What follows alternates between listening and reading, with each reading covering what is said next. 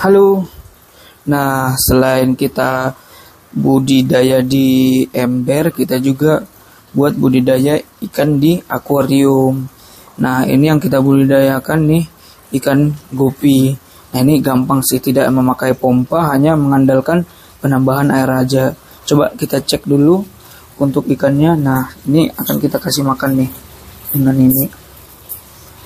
Nah, untuk uh, tanaman-tanamannya ini kita desain secara natural ya supaya si ikan uh, merasa nyaman untuk alamnya. Jadi ada bambu-bambuan kemudian ada juga tanaman-tanaman air seperti ini. Nah ini ada sekitar 3 sampai 4 macam yang ada di dalam untuk tanamannya. Tujuannya supaya apa? Supaya air tidak kita ganti dan dari kotoran air ini akan menjadi pupuk untuk si tanamannya.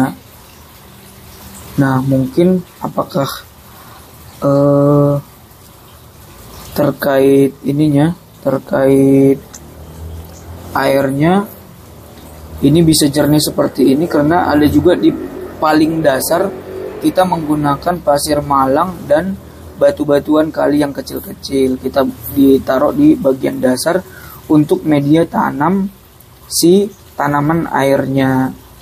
Jadi uh, si tanaman airnya juga membutuhkan media tanaman bukan hanya air aja, tapi uh, harus ada juga media yang lain. Nah, coba kita ambil ini ya.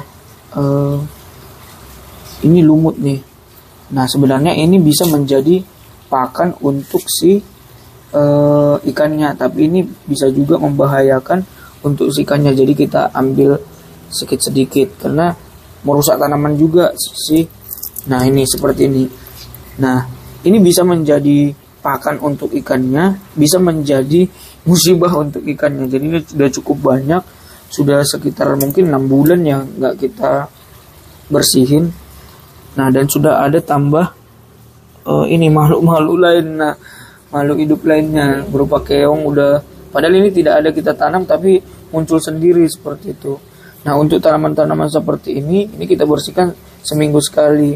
Dan ini bisa kita manfaatkan ke e, ikan yang di dambernya kita. Jadi apabila ini udah banyak tinggal kita masukkan ke kolam yang nomor tiga yaitu kolam bawal.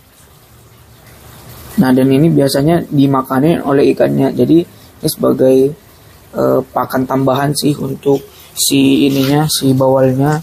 Nah biasa kita taruh seperti ini. Nah ini nanti bakal sedikit-sedikit akan dimakan oleh si bawalnya. Nah untuk selanjutnya mungkin kita bersihkan eh, daun-daun yang udah mulai gugur-gugur nih. Mungkin daun-daun yang si tanaman ikannya wah ini udah mulai banyak juga nih uh, ininya.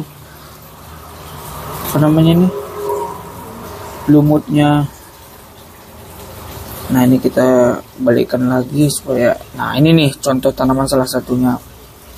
Nah tapi ini memang nggak kita potong supaya ya lebih terjaga, terjaga secara alami. Untuk ikannya pun merasa nyaman seperti di alamnya sendiri. Nah ini udah mulai penyakit nih tanamannya nih. Mungkin dimakanin sama si siputnya tadi nih atau si keongnya Nah, untuk bagian di sini harus kita bersihin jadi supaya ada rongga oksigen untuk si ikannya. Ini kita potong aja supaya tidak terlalu sempit. Nah, kalau misalnya ke atas ya tidak masalah. Nah, ini udah cukup jelas sih untuk ikannya. Jadi berada di area sini kemungkinan kemudian kalau misalnya kita tidak di rumah selama seminggu atau kita pergi keluar kota tetap aman. Jadi makanannya menghasilkan dari dirinya sendiri. Jadi kita menciptakan ekosistem yang ada di dalam.